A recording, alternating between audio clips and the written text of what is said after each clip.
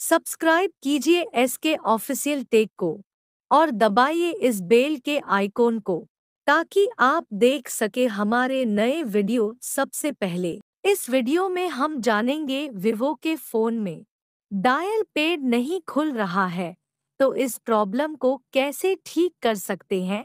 तो चलिए वीडियो शुरू करते हैं। तो सबसे पहले हम डायल पेड को ओपन करते हैं। तो आप यहाँ पर देख सकते हो। जैसे ही हम डायल पर क्लिक करते हैं, यहाँ पर ये ऑप्शन दिखा रहा है और हम किसी को फ़ोन नहीं लगा पा रहे हैं तो इसे हम कैसे ठीक करेंगे? तो उसके लिए आपको फ़ोन की सेटिंग में जाना होगा। यहाँ पर आपको नीचे स्क्रॉल करना है।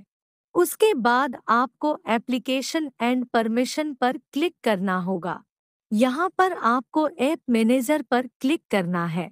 उसके बाद आपको मोर पर क्लिक करना होगा। यहाँ पर आपको शो सिस्टम पर क्लिक करना है। उसके बाद आपको नीचे स्क्रॉल करना होगा। यहाँ पर आपको फ़ोन पर क्लिक करना है। अगर आपके इसमें यहाँ पर दो फ़ोन दिखा रहा है तो आपको इस डार्क ग्रीन वाले फ़ोन पर क्लिक करना है। उसके बाद आपको परमिशन पर क्लिक करना होगा। यहाँ पर आप देख सकते हो डिनाइड के नीचे ये ऑप्शन दिख रहे हैं।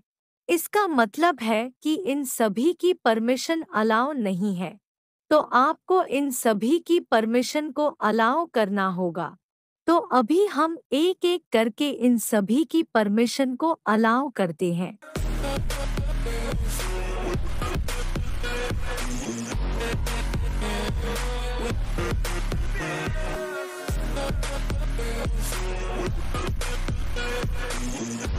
यहाँ पर हमने सभी परमिशन को अलाउ कर दिया है।